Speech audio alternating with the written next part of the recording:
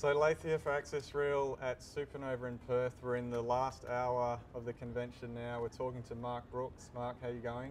I'm good. Good. Tired but good. Yeah, yes. it's almost you're almost at the end. Yeah, getting there.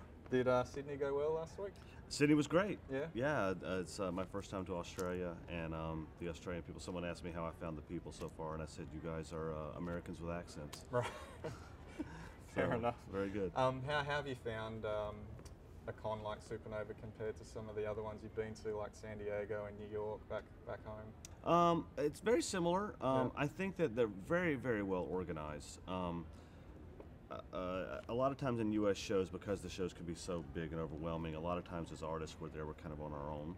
Um, here they do a really great job of just making sure that we're taken care of. You know that we always have something to eat, something to drink. We're Yeah. always made sure we're aware of where we need to be at any given time, and we're given escorts to go places. You know, to make sure we get to the right place Sure. on time. So it's been it's been great. Yeah. I mean, I, I wish all shows could treat us this well. You Well, know? that's, that's good to hear. Yeah. Can you tell us a little bit about how you first broke into the comics industry? hmm Um, well, like a lot of people, uh, I, I drew as a kid, Mm. and uh, I just drew every day, hours and hours. And I would, when I st- heard about comic conventions, we had one in Atlanta called Dragon Con, which we still have. Yep.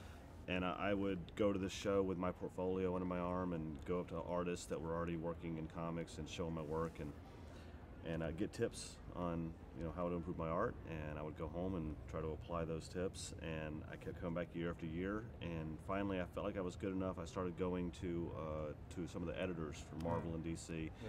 trying to get work that way. Uh, and eventually got some work for some smaller companies. And as it normally goes, you work, get some published work under your belt.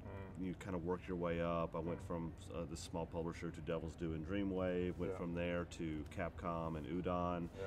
And just kind of leveled up that way. And eventually, I got the attention of Marvel. Okay. And um, were there any artists in particular that really inspired you, that caught your your, your eye, that made you want to get in, get into the industry? Yeah, I mean, you know, back in the, the time when I was trying to break in, it was the image days, the Mhm. early image days. So Yeah. it was it was the big seven. It was Jim Lee and Marc Silvestri and and uh, So like know, Erik Larsen, Todd McFarlane. Erik Larsen. moved across to. Mhm. Yeah. I yeah. like them a lot. Alan Davis was a big influence on me. Sure. Um, Art Adams was huge. So yeah, a lot, a lot of those guys that you'd find that were big in like, probably about the mid '90s. Yeah. were- yeah. And you're at the, at the moment you're exclusive to Marvel, is that Mhm, right? Yeah. That's true. Um, and would you like to, to stay with Marvel for a while, or have you got any thoughts about IDW or Image or anyone else at the? You're just happy at Marvel for a Uh, while. yeah, I'm happy at Marvel right now. I mean, Yeah. Marvel's treated me really, really well. Uh, I've, I've gotten to work on some really, really fun things. I got Yeah. some really fun things coming up as well. Uh, but just like a lot of people, I have some my own ideas um, for my own creator-owned work that hopefully at some point um, in the future I'll get to apply um, and have some ideas. Whether it'll be at IDW or Image or if I take it online or, or whatever I decide to do, I haven't decided yet. But um, but yeah, I mean that, that that's in the cards. But for I mean, now, Image is doing a lot for, for creator-owned content now. They're really there's really quite a movement there. Oh, without a is- doubt, and they're actually getting some good competition from uh, from people like uh, Boom Yep, and yep, IDW of that, that are offering some really great uh, incentives for creator-owned work. Yeah. Um, now, with the, the rise of digital distribution and e-comics, things like Mm. that, how do you do you find creatively that has much of an impact in terms of um, in terms of your work, knowing that it's going to have to to be distributed digitally Mhm. as well as in paperback? Does that change how you do your panels and? and No, it really does. I mean, luckily, uh, you know, working for Marvel, our, our the comics are delivered digitally and in print the same Yeah. day. yeah. Um, I, I get the script and I draw the comic in the same format I would normally, and pretty much let Comixology and Marvel worry about how they're gonna, do, you know, yeah, it or- cut it up or whatever they're gonna do. Yeah. Uh, so yeah, I mean, I'm sure I will run into that problem when I start doing self-publishing, but right now it's not really, Yeah. not really, you know, something I have to worry about. Yeah, and some, sometimes we, we read a little bit here and there about things like editorial control, um, which is, might have an impact on a writer, that sort of thing. Does, does that sort of issue influence an artist at all? Does that come across to how characters Yeah. drawn on the page? Can that? It does. I mean, it, it all depends on the on the editor. Um, some editors are more hands-on than others. Um, there, there, there should be there's a fine line between um, between uh, uh, giving healthy notes and interfering. Um, an editor, there, I always say that an editor is, is like air traffic control. Um, they're there to make sure all the planes are flying smoothly and landing the way they're supposed to land. Yeah. uh, without crashing into each other. So that that's a that, that's a good editor. So yeah, they'll they'll they'll add their notes when they need to be uh, when need be. They'll they'll correct things when need be. Like you know, I, like uh, on Captain America's newest costume, are the are the ears his little feathers? Do they are they plastered down like a paint job, or they stick up? An editor will Yeah. check that for you and make Yeah. sure you, you're getting it correct. Yeah. And that that's that's what they're there for, um, Mm. ju- and just to make sure that you're following the script and doing what you're supposed to do. So. Um, yeah, I, don't, I haven't really had much of a problem Yeah. you know, Okay. in that area. And of course, you've worked on a few different characters like uh, Cable, Deadpool, Mhm. um, and X Men.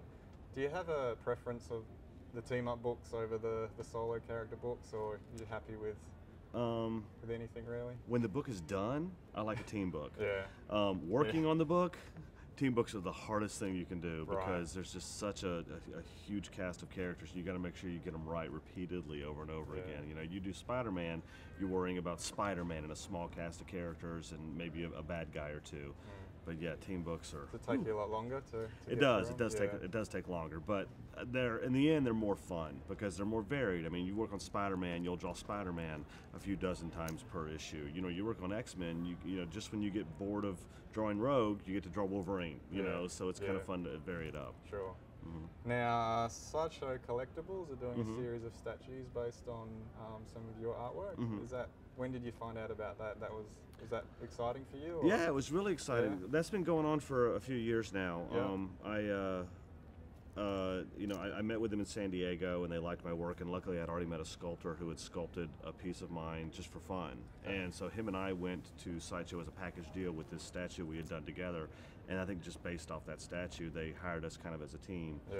Um, so, and I've been doing statues for them ever since. I've only had three come out so far, Sure. um, but hopefully Do you know there'll be. how many more are coming? Or It's it's all up to sideshow. see, yeah, yeah, um, I. I, I know the next one. I think it's been pretty revealed. The next one was uh, is, is going to be Phoenix. Um, if we can, Yeah. you know, get it through, and, and Okay. there's some logistics that go along with that statue that are a little difficult, but Right. hopefully we Well, can get them worked out. out. Yeah. Uh, now, I love to ask the guys that are working in the industry with um, the number of uh, you know the movement in movies to be to Mhm. be to be mining comics for ideas and all Mhm. the superhero films.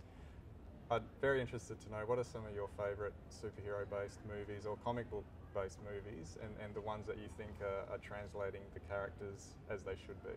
Some Uh, of your favourites.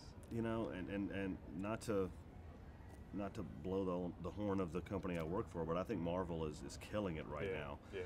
Um, I think Iron Man quintessentially is the the best comic movie that's ever been put out Yeah. so far. I know some people are gonna. It's arguably. I understand. There'll be some people that very, very much disagree with me. Sure. Um, but I think the Iron Man Avengers is is almost flawless. Um, I'm one of the few people that not few people, but I'm one of the people that Iron Man three I thought was just amazing. Yeah, loved yeah, it.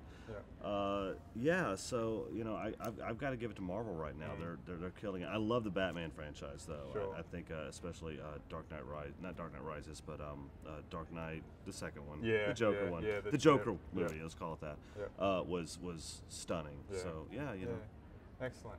Okay, uh, thanks for talking with us. No Uh, problem. I hope you have a good time in San Diego in a couple of weeks, and I hope you've enjoyed your tour of Australia. definitely, Great. definitely have. I hope I'll be back soon. All right, thank you.